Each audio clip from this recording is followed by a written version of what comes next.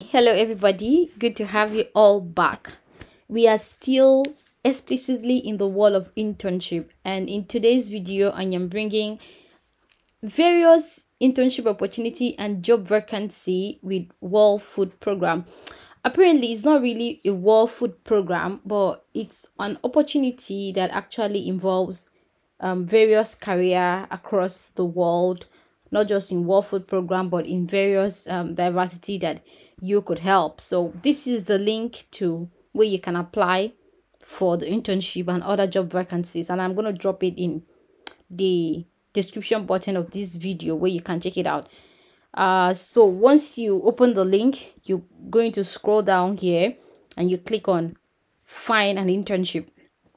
But before you click on find an internship, you should check on am I eligible for an internship? So the first thing is they ask is to check if you are eligible for this internship. Is either you are currently enrolled in a recognized university or graduated in the last six months. That is their condition.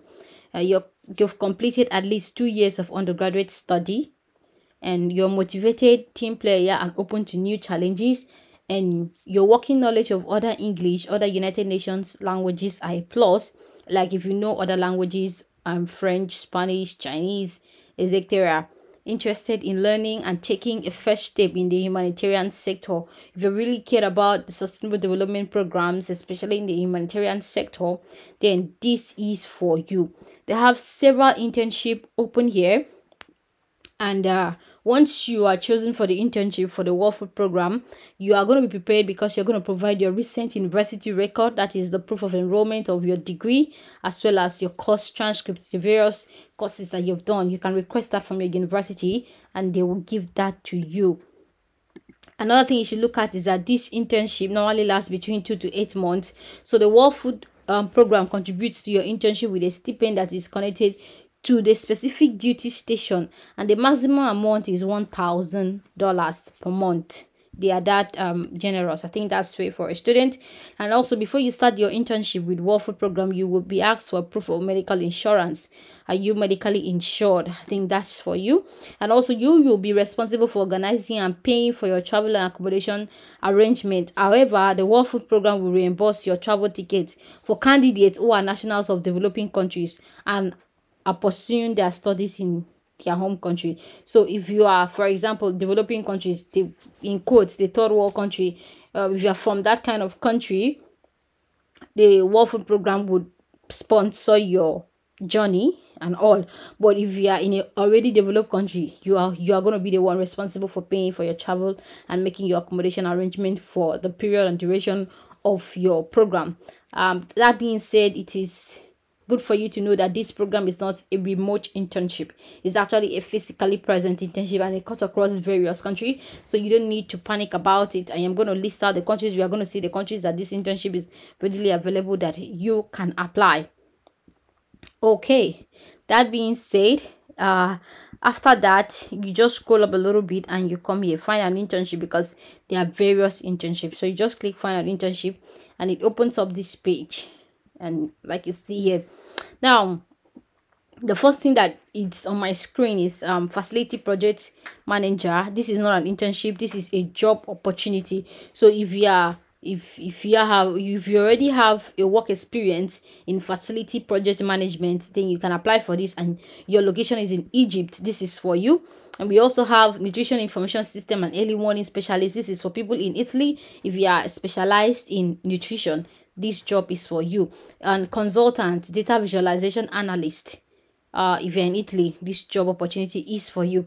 And now as you are checking the job opportunity you also have to check for the closing date. For example the data visualization analyst the closing date is on the 5th of january. That is three days from now to close at um at this time 0059 uh forklift operator and etc etc business relation management program assistants and all of that.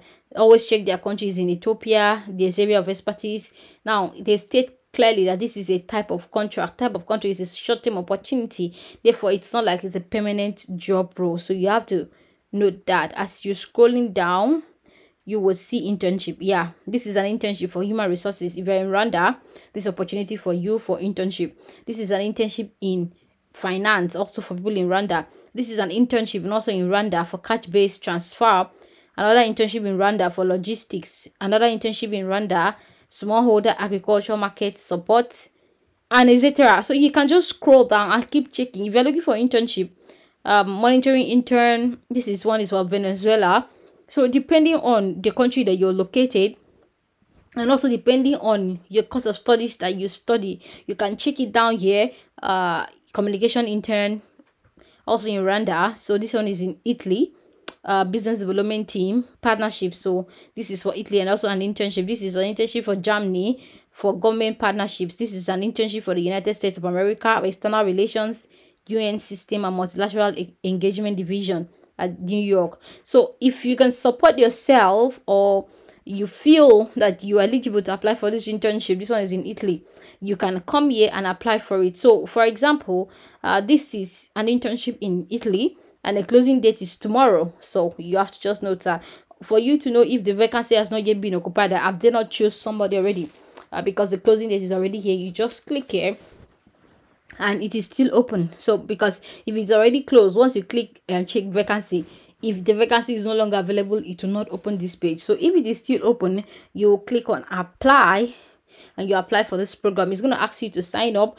Uh there's going to ask you some personal statement. It's going to ask you for uh your like your personal credentials your name your address your email address and everything the country you're from. Are you eligible to sponsor yourself? Where you're currently located? And you're going to answer all of those questions if you are from developing country. Like it was clearly stated you're going to tell them that you're from a developing country and you will need a visa to travel to the country of your choice in which the internship is located. And they would they would assess your application. You're going to write some essays to know if you're actually eligible for them to sponsor your visa.